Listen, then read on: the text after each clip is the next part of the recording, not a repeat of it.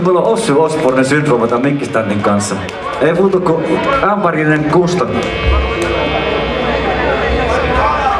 No vittu, vetää runkkariklubi tähän väliin.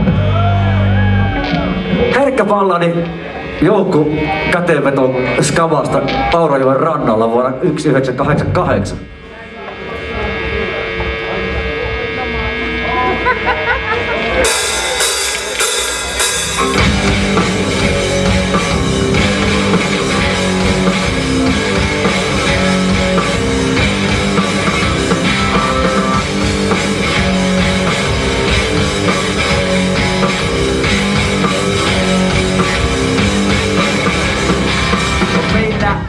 salaseura, seura hyvin salainen. Sen jäsenistä muodostettu armeija maanalainen.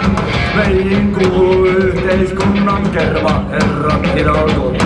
Tohtorit ja tuomarit, vaan IT-pomot auttamaan.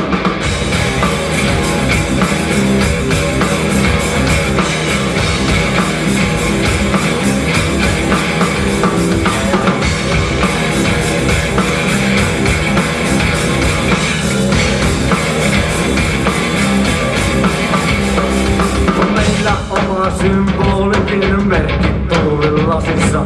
Toistemme autot tunnistamme aamuruuhkassa.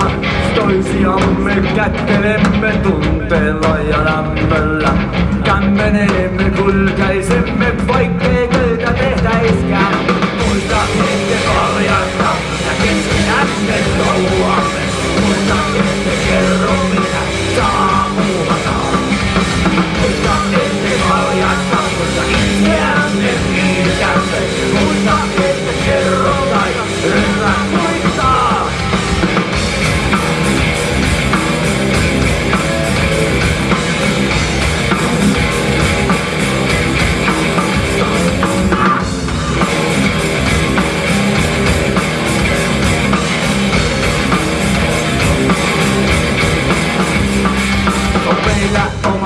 piilovirtti sykkää metsän keskellä.